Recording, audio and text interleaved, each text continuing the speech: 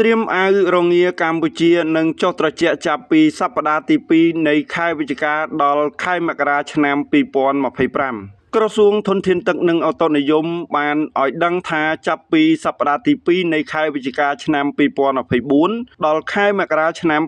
2025ធាតុអាកាសនៅកម្ពុជានឹងចាប់ចុះត្រជាក់ដោយសារទទួលរងឥទ្ធិពលរបស់ខ្យល់មូសុងអេសានខ្លាំងដែលនាំមកនៅខ្យល់ត្រជាក់ក្នុងអំឡុងពេលដូចគ្នានេះកម្ពុជានឹងទទួលរបស់ទឹកភ្លៀងមានបរិមាណតិចតួចផងដែរ បើតាមក្រសួងធនធានទឹកយោងតាមការអង្កេតពិនិត្យនិងវិភាគទៅលើស្ថានភាពវិវត្តប្រែប្រួលនៃសីតុណ្ហភាពនៅលើផ្ទៃមហាសមុទ្រប៉ាស៊ីហ្វិកភាគខាងលិច និងមហាសមុទ្រឥណ្ឌាព្រមទាំងតំបន់អេហ្វាទ័របានបង្ហាញឲ្យឃើញថា ចាប់ពីខែវិច្ឆិកាឆ្នាំ2024ដល់ខែមករាឆ្នាំ2025បាតុភូតអេឡានីមានប្រមាណ60%និងអេនសូ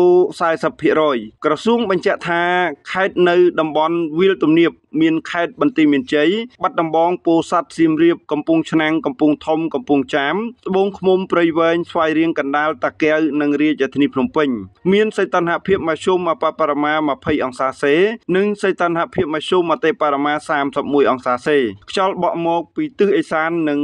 អាចមានភ្លៀងធ្លាក់ជាមួយផ្គររន្ទះនិងខ្យល់កន្ត្រាក់គ្របដណ្ដប់លើផ្ទៃដី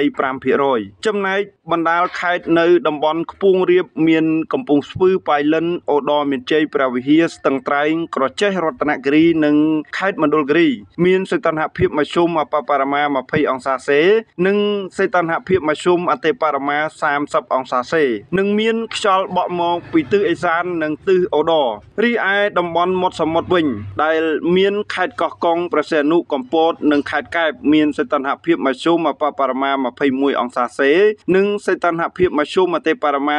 32អង្សាសេនិងមានខ្យល់បក់មកពីទិសឦសាននិងអាចមានភ្លៀងធ្លាក់ជាមួយផ្គររន្ទះនិងខ្យល់កន្ត្រាក់គ្របដណ្ដប់លើផ្ទៃដី5%ខណៈរលកសមុទ្រមានកម្ពស់មធ្យមអបបរមា0.50ម៉ែត្រនិងកម្ពស់មធ្យមអតិបរមា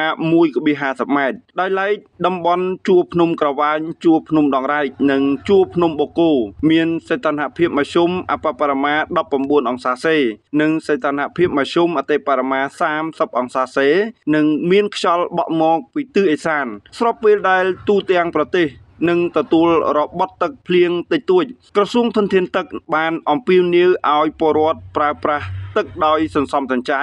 និងចូលរួមថែរក្សាប្រភពទឹកទុកដោយស្មារតីទទួលខុសត្រូវនិងប្រុងប្រយ័ត្នដើម្បីធានាដល់ការប្រើប្រាស់និងស្រោចស្រពផលដំណាំប្រូវីដាទឹកស្ព្រីងបូកូរសជាតិផ្អែមស្រទន់ស្រស់ស្រាយបែបធម្មជាតិ